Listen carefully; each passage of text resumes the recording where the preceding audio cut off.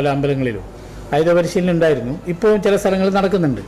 അപ്പോൾ അമ്പലങ്ങൾ ആയുധ പരിശീലനം മാത്രമല്ല ചോരക്കളങ്ങളാക്കി മാറ്റുകയും കൂടുന്ന ഒരു പുതിയൊരു രീതിയിലേക്ക് ആർ എസ് എസ് നീങ്ങിയല്ലോ.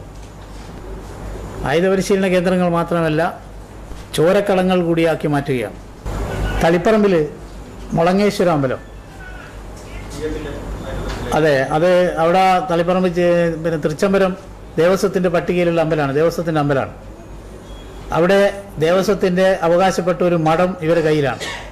അതുപോലെ തന്നെ മുളങ്ങേശ്വരം എന്ന് പറയുന്ന അമ്പലത്തിന്റെ പണവും ഇവരാണ് കൈവശം അപ്പോൾ ക്ഷേത്രത്തിന്റെ ആചാരങ്ങളും അനുഷ്ഠാനങ്ങളും സംരക്ഷിക്കും എന്ന് പറഞ്ഞുകൊണ്ട് ക്ഷേത്രങ്ങൾ സംരക്ഷിക്കും എന്ന് പറഞ്ഞുകൊണ്ട് വലിയ പ്രചരണ കോലാഹലങ്ങൾ നടത്തുന്ന ശബരിമലയിൽ പോലും ചില പ്രഹസനങ്ങൾ നടത്തിയിട്ടുള്ള ആർ എസ് എസ് കേരളത്തിൽ ഒരു പടി കൂടി മുന്നോട്ട് വന്ന് ക്ഷേത്ര അങ്കണത്തിൽ തന്നെ ഭഗവാന്റെ മുമ്പ് തന്നെ പവിത്രമായ അമ്പലത്തിന്റെ മുറ്റത്ത് തന്നെ ഒരു ഭക്തനെ ഒരു ജീവനക്കാരനെ കുത്തിവീഴ്ത്തിയ സംഭവം കേരളത്തിന്റെ ചരിത്രത്തിൽ അപൂർവമായിട്ടുള്ളതാണ്.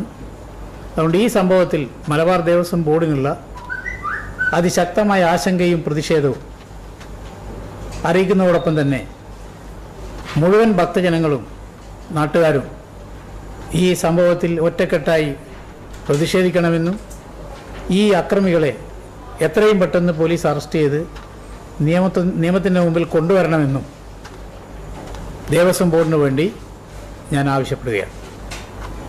ഇത്രയും